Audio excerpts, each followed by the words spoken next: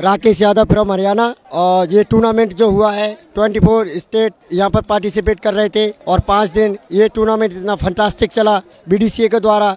और in India में पहली बार दिव्यांगों के लिए ऐसा टूर्नामेंट ऑर्गेनाइज किया गया है। और वो भी तेलंगाना में। बहुत और बहुत बहुत बधाइयाँ तेलंगाना के लिए कि दिव्यांगों के लिए इतना अच्छा टूर्नामेंट यहाँ पर ऑर्गेनाइज किया गया। और पवन कल्याण जी के लिए बहुत बहुत थैंक्स पवन कल्याण जी ने एवरी टीम के लिए वन वन लाख रुपीज़ दिए और हमारे बोर्ड बीडीसी इंडिया के लिए एक करोड़ रुपये का उन्होंने सपोर्ट किया है। और बहुत बहुत थैंक्स पवन कल्याण जी के लिए। बहुत बहुत गॉड ब्लेस हमेशा वो इसी तरह रहे। और उनके लिए बहुत thank you thank you so much thank you we got the one lakh rupee given by the Pavan Kalyan to us. It is a great achievement for us. That is in the physically handicapped challenger cup. We won the. We are the runner up. Thank you. Pavan Kalyan garu.